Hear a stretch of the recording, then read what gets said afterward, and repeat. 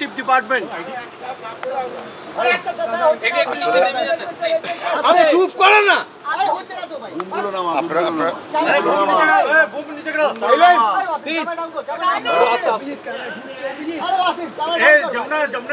জানেন যে গতকাল আপনাদের সাথে আমার কথা হয়েছে। আমরা এয়ারপোর্ট থেকে নেমে আমরা নিউ টাউন বিধাননগরের নিউ টাউন থানায় এসে আয়ুকে নিয়ে আমরা তদন্তের স্বার্থে আমরা ঘটনাস্থল পরিদর্শন করেছি। ঘটনাস্থল পরিদর্শন করে সব কিছু আমরা দেখে তারপর আমরা সিআইডি প্রধান কার্যালয়ে আমরা সিআইডি চিফ মহোদয়ের সাথে কথা বলেছি। সেখানে তিন থেকে চার ঘণ্টা আমরা কথা বলেছি ক্রস এক্সামিন করেছি।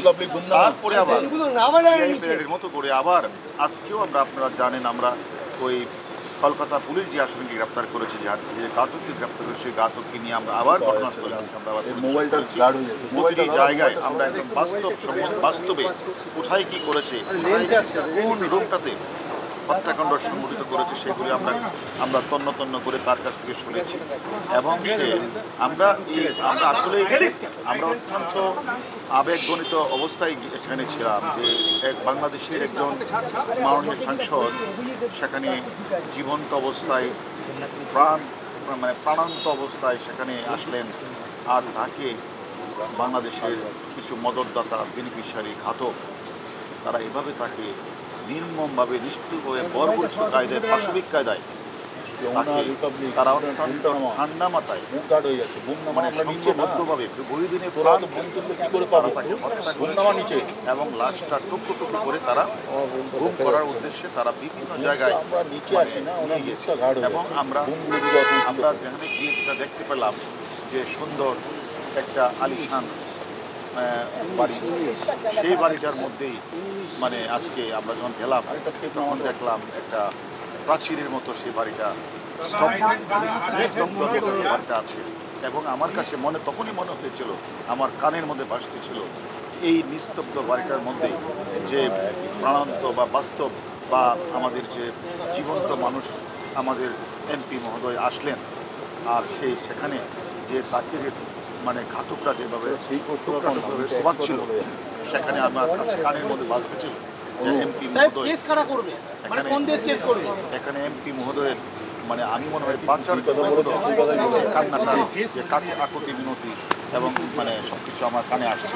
আর ঘাতকরা যে তাকে মেরে যে বা সেটা আমার কানেও বাড়ছিল। আমি মনে করি যে এই যে ঘটনাটা এটা একটা অনেক দিনের পরিকল্পিত এবং প্ল্যান করে ঠান্ডা মাথায় তারা এই ধরনের হত্যাকাণ্ডটি আমরা আমরা তো দেখেন বাংলাদেশ আমরা তো আসলে বাংলাদেশের পার্ট থেকে এসেছি। আমাদের বাংলাদেশের পার্টির একটা মামলা হয়েছে।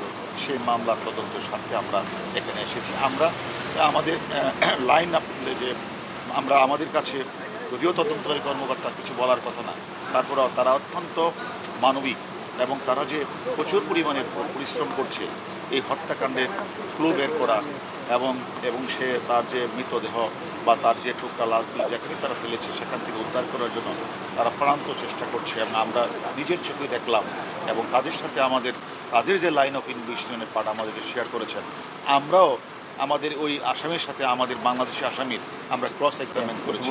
এবং ক্রস এক্সামিন করে আমরা কিন্তু আমরা কিন্তু অনেক তথ্যই আমরা পেয়েছি। এবং আমরা আজকে কিন্তু এই আসামিটাকে নিয়ে আমরা কিন্তু যে বর্জ্য খালে আপনারা অনেকে ছিলেন সেখানে কিন্তু আমরা সেখানে তাদের যেখানে নিক্ষেপ করা সেই সেই জায়গাটাও আমরা পরিদর্শন করেছি। এবং যে এখানে যে পাবলিক টয়লেট যে জায়গাটা থেকে তারা মানে মর মানে মানে মৃতটাকে মানে বিভিন্ন টুকরা করে হস্তান্তর করেছিল সেই জায়গাটা আমরা আফটার আমরা তদন্তের স্বার্থে আমাদের আমরা যে যে জায়গাগুলিতে অপরাধটা সংঘটিত হয়েছে প্রত্যেকটি জায়গায় আমরা পরিদর্শন করেছি। মার্ডার ওয়েপন কি রিকভার করা স্যার, আপনারা কি জিয়াদকে নিয়ে যাবেন? জিয়াদকে জিয়াদকে কি নিয়ে যাবেন? হ্যাঁ? দেখেন আমরা যেহেতু এখানে একটি আপনারা জানেন যে এই বাসায় একটা মার্ডার মানে এখানে বা কলকাতায় একটা মার্ডার সংঘটিত হয়েছে, তাকে তাদের জিজ্ঞাসাবাদ করা প্রয়োজন জিজ্ঞাসাবাদ করছে। এবং পাশাপাশি আমরা আমরা এসেছি যে যেহেতু আমাদের দেশে একটি পার্ট, সে অপহরণের একটি মামলা রুজু হয়েছে, তার পার্ট হিসেবে আমরা এখানে এসেছি। আমাদের, আমরা তাদের সাথে বসে অনেক বেশি কথা বলেছি, অনেক বিষয়ে কথা বলেছি। আমি মনে করি যে আমরা তদন্তের স্বার্থে অনেক কিছুই আমরা এখন বলতে পারছি না।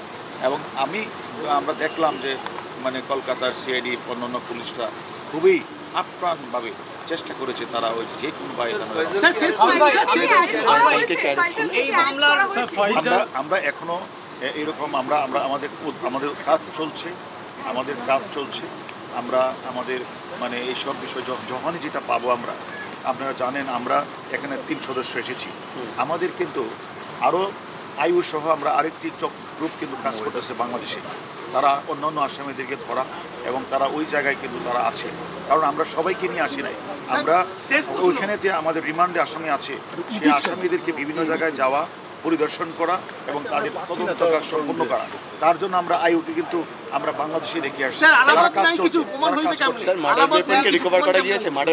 আমরা কলকাতা পুলিশ আমাদের নিয়ে তো বিভিন্ন জায়গায় গেলেন।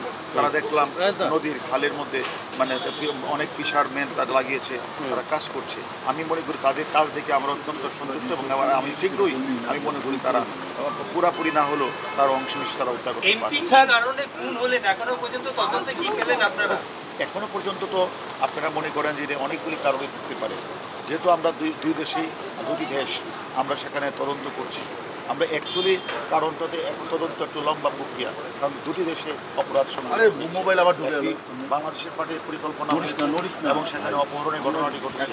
আর এম- আর হত্যাকাণ্ডটি ঘটেছে হলো আপনাদের নিউটনের আলিশান বাড়িতে যেহেতু একটি লম্বা দীর্ঘ প্রক্রিয়া এখনই স্পেসিফিক এই মুহূর্তে আমরা দুই পক্ষে কাজ করছি। এই মুহূর্তে আমি স্পেসিফিক বলতে পারব না এই কারণে সংগঠিত হয়েছে। এটা পরবর্তী পর্যায়ে আপনাদের জানাতে। রিকনস্ট্রাকশন আজকে যেটা হলো সেটা তাতে কি পাওয়া গেল? রিকনস্ট্রাকশন করলেন আজকে জিহাদকে নিয়ে আমরা ফ্ল্যাটে আমরা আমরা আমরা ইন্ডিয়ান পুলিশ এবং আমরা মিলে আমরা কাজ করেছি। তার সাথে আমাদের মানে আমরা সেখানে ক্রস এক্সামিন করেছি। আমরা কিছু নতুন নতুন তথ্য আমরা পেয়েছি। আমরা মনে করি আপনাদেরকে শীঘ্রই আমরা একটা ভালো আজকে অভিযুক্তকে নিয়ে জিয়াদকে ঘটনার পুনর্নির্মাণ করলেন কি? আমরা নিয়ে গেছি। আমরা তাকে সেডি সিআইডি সহযোগিতায় তারা সেখান থেকে নিয়ে গেলেন। আমরাও সেখানে ছিলাম।